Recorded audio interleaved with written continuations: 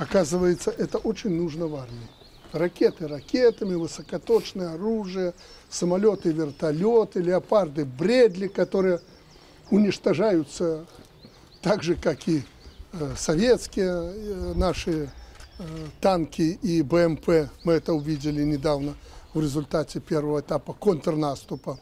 А как оказалось, грады наши, новые, модернизированные, это не советские грады, шквал.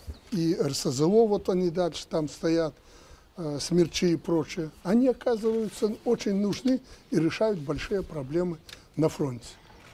Поэтому хорошо, что мы далеко не влезли в дорогостоящие э, вещи, которые мы и произвести не сможем, а надо было закупать. А вот на земле это все, плюс автоматы, пулеметы, гранатометы, они решают большие-большие проблемы. Я не говорю, что то не нужно. То нужно, но без этого победы никакой не будет на фронте.